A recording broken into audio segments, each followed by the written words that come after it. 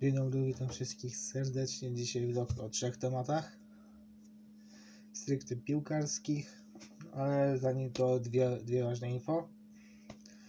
Pierwsze info jest takie, jeżeli podoba Wam się to, co robię na YouTubie, mm, e, podoba Wam się to, co no, robię, to, co nagrywam, e, vlogi, jak pokazuję coś, płyty, jak robię unboxingi, układam na czas. Ostatnio nawet stawiłem zapamiętywanie to pokażcie to, że to lubicie i zostaw, dajcie suba e, i łapkę w górę, bo to motywuje.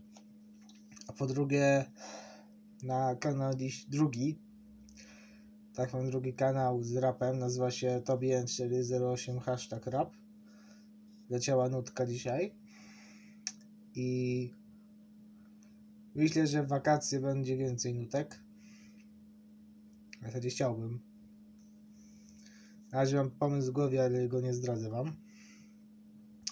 I w sumie tyle. Dobra, lecimy od z trzema rzeczami. Pierwszą rzeczą jest to, że Andrzej Szyrle e, kończy karierę. Zakończ, rozwiązał kontrakt z Borussią i zakończył e, karierę piłkarską w wieku 29 lat. Wszyscy w szoku. E, powiem wam szczerze, mm, mnie to no, no, dziwi to, ale no umówmy się, Andre Andre miał bardziej bar... zawsze pod górkę niż z górki. Tak naprawdę jak patrzę na, patrzę na jego karierę, to tak. Z Bayernu z Mainz, w którym grał do Bayernu, Leverkusen pewnie grał dobrze. Jak trafił do Chelsea, Chelsea spędził tylko rok. Eee, po czym trafił do Wolfsburga. Wiadomo, Chelsea był bardziej rezerwowym niż takim zawodnikiem podstawowego składu i trafił do Wolfsburga. W Wolfsburgu zagrał naprawdę dobry sezon, z tego co pamiętam. Trafił do Borussii. W Borussii, jeżeli początek miał nawet niezły z tego co pamiętam, bo tam nawet te gole z Realem Lidze Mistrzów, tym, to był ten sezon, gdzie Legia grał w Mistrzów, to odstrzał, ale z czasem było coraz gorzej. I po dwóch latach najpierw został wypożyczony do Fulham, na rok miał być wypożyczony, na dwa lata miał być wypożyczony, po roku zrezygnowali, bo Fulham spadło, a teraz był wypożyczony do Spartaka Moskwa, e, wrócił i zakończył karierę. E, mówiło się też o Benevento, że mógłby przejść do mm, nowego Benaminka Serie A, ale to się nie wydarzyło. Eee...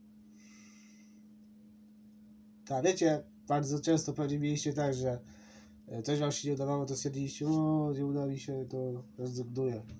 Eee, I tak samo było w tym przypadku, po prostu Szurle, mając w głowie to, że udawała mi się kariera w dwóch dużych klubach, e, mówiąc tutaj Chelsea Borussia, gdzie początek Borussia dobry, Chelsea nie pamiętam dokładnie, wydaje mi się, że był bardziej jednak rezerwowym. W Borussii początek był dobry, później się to zawaliło i i tyle, no nie, nie dało się rady. E, jak, sprawdza, jak sprawdzałem jego statystyki z tego sezonu gdzie rosyjskiej w Premier Liga, zagrał 13 meczów, e, bramkę i zaliczył dwie asysty plus trzy żółte kartki. E, zaraz zobaczę jego e, na ten przykład Fulham. E, zagrał 24 mecze, strzelił 6 goli i, i, nie zaliczył żadnej asysty i miał dwie żółte kartki. W FA Cup nic nie miał i w FA Cup miał jeden mecz. E, statystyka lepsza, ale no wiadomo, że jednak z Fula mu nie wyszło, pod tym względem, że prawdopodobnie po spadku stracili dużo pieniędzy nie mogli go opłacać. Tego go oddali z do Borussii. Hmm. I co Shirley mógłby zrobić jakby jego kariera? Moim zdaniem Borussia zamiast go wypożyczać do Premier League i do hmm, Spartaka, ja bym go wypożyczył na środek tabeli Bundesligi, ponieważ e, E, on grając w Wolfsburgu, chwilę zamknął.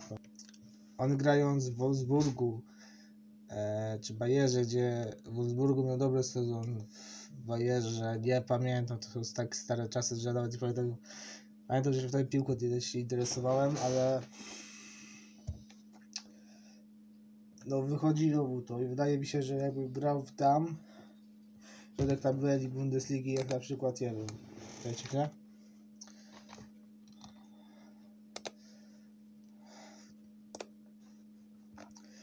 Nie wiem, Hertha, Eintracht, Freiburg, Hoffenheim, nie wiem, Augsburg, czy nawet kluby słabsze, typu, nie wiem, Mainz, Kuhn.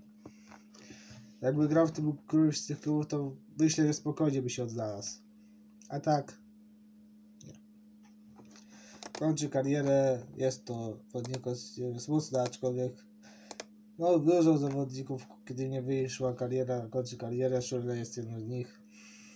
Szkoda. Ale życzymy, życzymy mu oczywiście wszystkiego najlepszego w przyszłości. Drugi temat to jest szybki temat, mianowicie wczoraj Real zapewniał sobie Mistrzostwo Hiszpanii, e, wygrywając 2-1 z Villarrealem. W tym samym czasie oczywiście Barca grała mecz i przegrała 2-1 z Osasuną.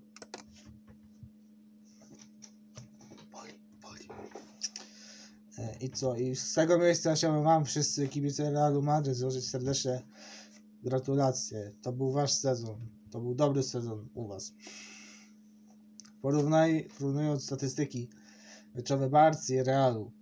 Na 37 meczów, 26 wygranych, 8 remisów i 3 porażki względem Realu, tak u Barcelony 24 wygrane, 7 remisów i 6 porażek to jest po prostu i minus 7 punktów straty do Realu, to to wydaje mi się, że jednak rzeczywiście dobrze, że e, e, że Real wygrał. E, pod względami statystycznymi.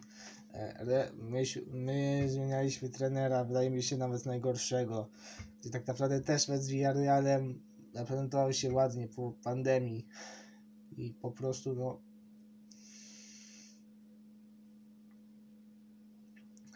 po prostu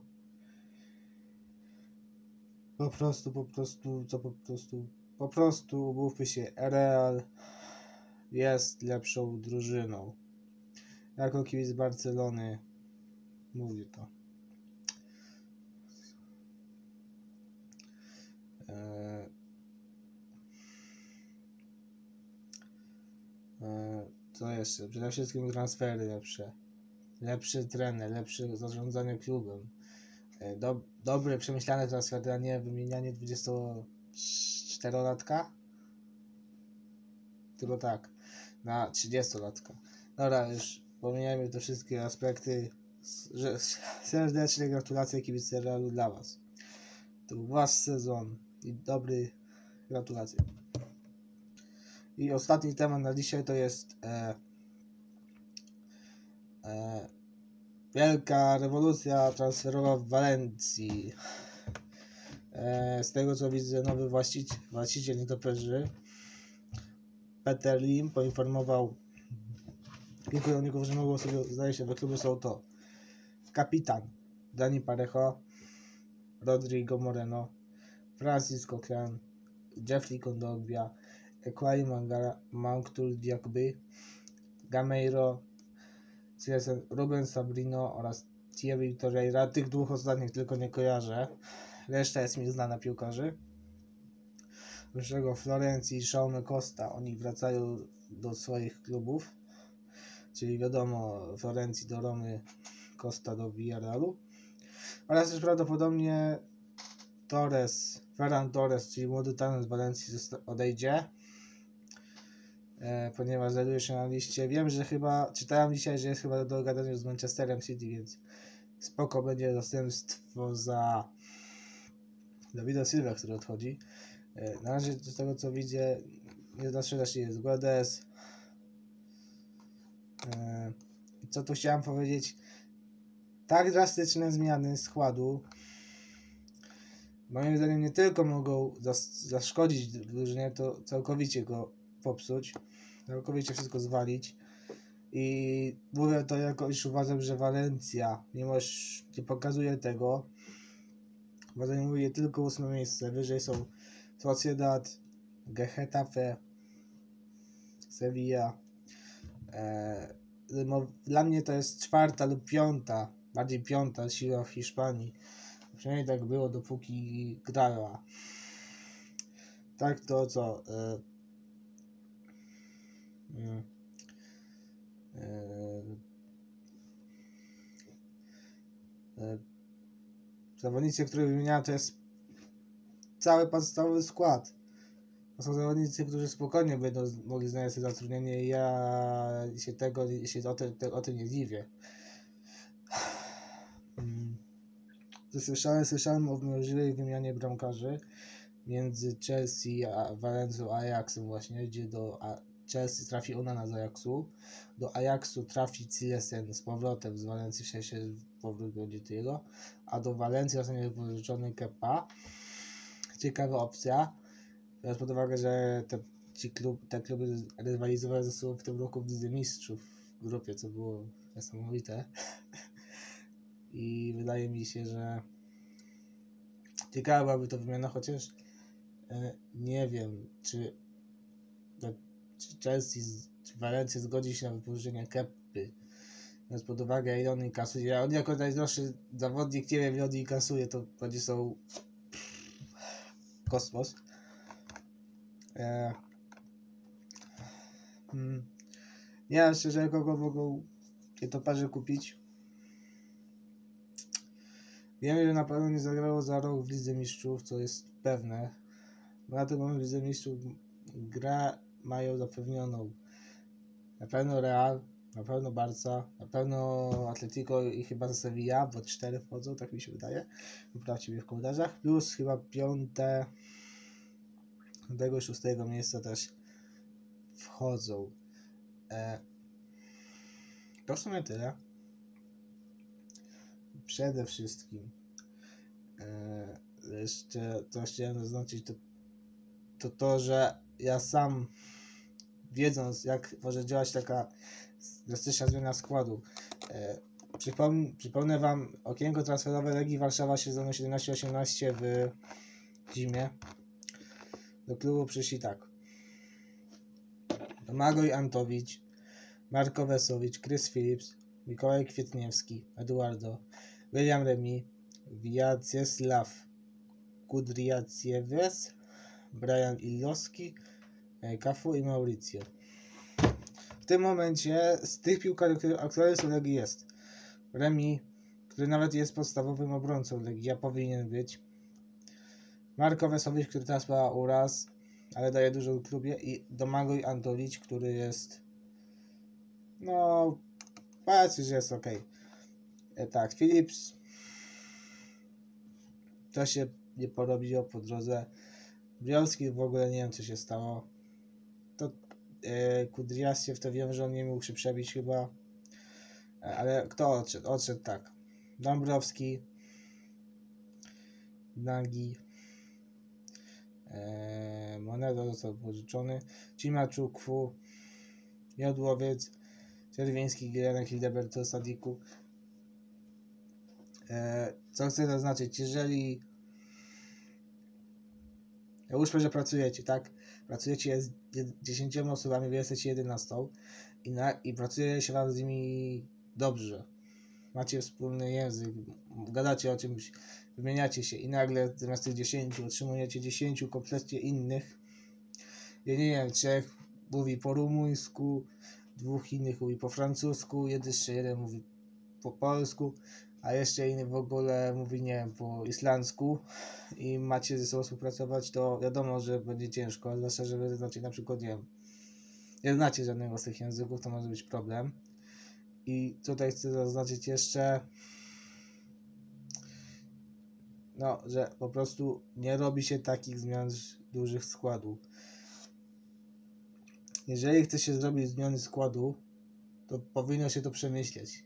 Ja nie wiem, jak to właściciel Walencji aktualnie przemyśla, myśli, ale ja na jego miejscu bardzo poważnie bym przemyślał wszystko ogólnie. E, chyba to tyle. To na tyle dzisiaj. Dzięki za oglądanie. Jeżeli podoba Wam się to, co robię, to zostawcie łapę w górę, subika i, i ja się z Wami żegnam. Elo.